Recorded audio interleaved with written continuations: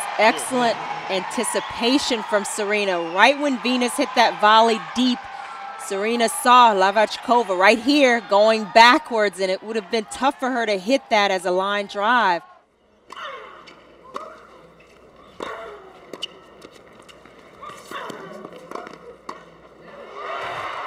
All too easy for Venus and Serena.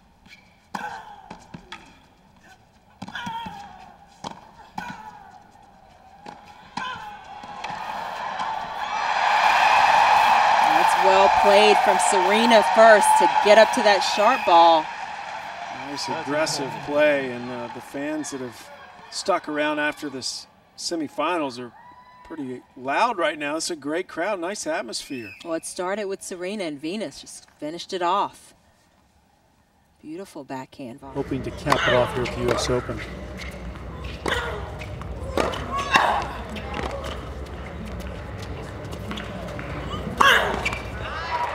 But she has uh, just been destroying all who stand in front of her this tournament. She's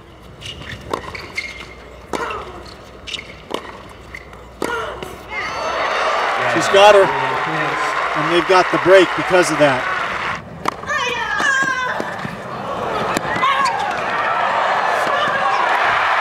Back on serve.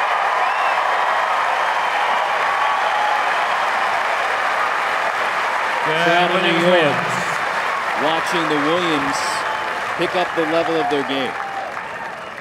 four games Great moving by Serena. Boy, have they played well these last 10 minutes to get back level.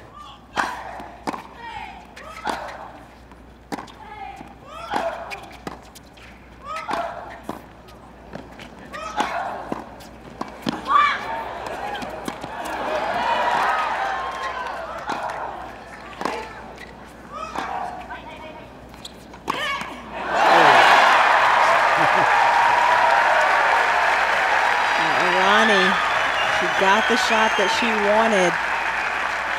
Forehand, maybe a little higher than she was comfortable with outside of her strike zone.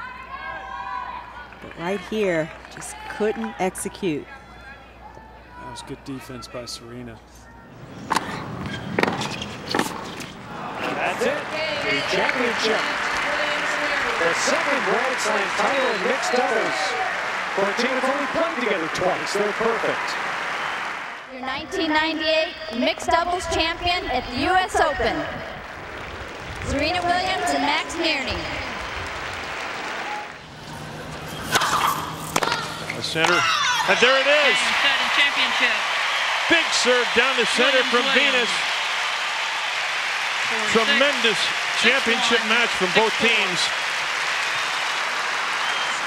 Venus and Serena Williams.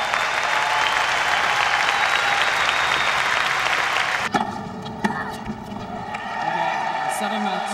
Williams, Williams, performance 6-2, 6-2. Venus as they step up and administer a completely shattering final performance at the hands of the top seeds, Liezel Huber and Cara Black. Ladies and gentlemen, your 2009 U.S. Open Women's Doubles Champions, Serena Williams and Venus Williams. I know you will be ready, Serena. What did you just say?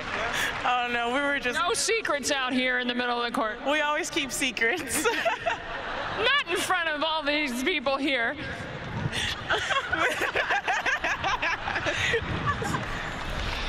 uh, Venus, wait, wait.